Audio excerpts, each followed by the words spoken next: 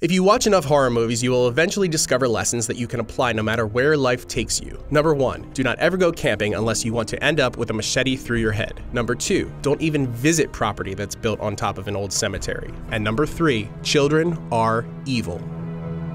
Weird slash bad slash demonic kids are experiencing something of a renaissance in horror with high profile scare flicks like The Babadook and Goodnight Mommy. But the roots of the evil child subgenre stretch back decades. The earliest iconic example is 1956's The Bad Seed, in which a child named Rhoda hides her homicidal tendencies behind pigtails and a pinafore. Promise me you won't tell anyone what you've told me. Do you understand? Why would I tell and get killed? It's the perfect crime from the perfect vessel whom no one would suspect, but everyone clearly should. Don't trust kids. They're id driven monsters with obsessions capable of pushing them over the edge. Give me back my shoes! Got no body shoes. Don't you know anybody's teasing you? Will you bring them back? Play with your puzzle. I got no shoes. I keep telling you. You bring them back?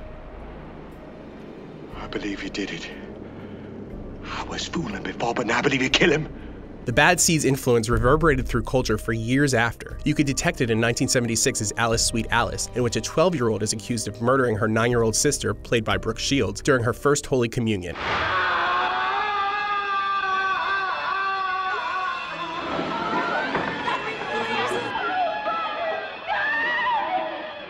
If there's anything scarier than a killer kid, it's a killer Catholic kid.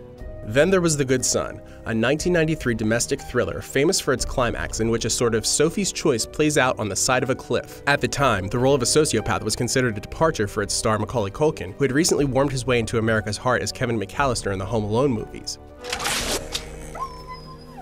What many failed to realize was that Kevin was already sadistic as it was, and the abuse he put his potential robbers through was essentially a precursor to the kind of torture porn we'd see a few decades later in the Saw movies. And then there's the hilarious Orphan from 2009. No spoilers, but this kid is wise beyond her years. Or maybe she's years beyond her wisdom. When grown-ups love each other very, very much, they want to show each other that love. They want to express it. I know. They fuck. And of course, far worse than one big monster are several little monsters, and worse than several little monsters are several little kids. There's 1960s Village of the Damned and its 1995 remake, in which a legion of psychically connected, Aryan looking kids takes over a village. In the end, the adults can only defeat them with a time bomb hidden through sheer mental willpower.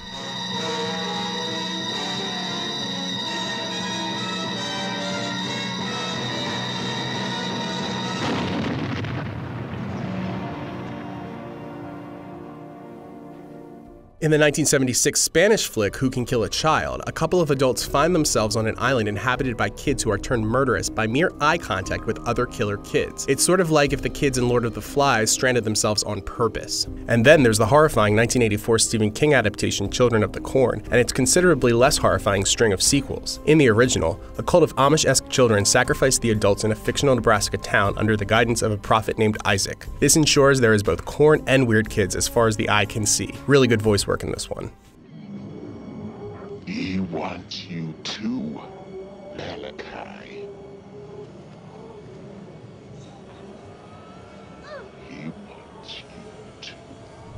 Many of the kids we see in horror, as in life, can't help that they're evil. Among the most helpless are those who are possessed by the devil, like Regan in The Exorcist. As much as it must suck to have the devil inside you, it's probably a lot of fun to be allowed to use such graphic language as a 12 year old. Stick your cock up her ass, you motherfucking worthless cocksucker. Be silent.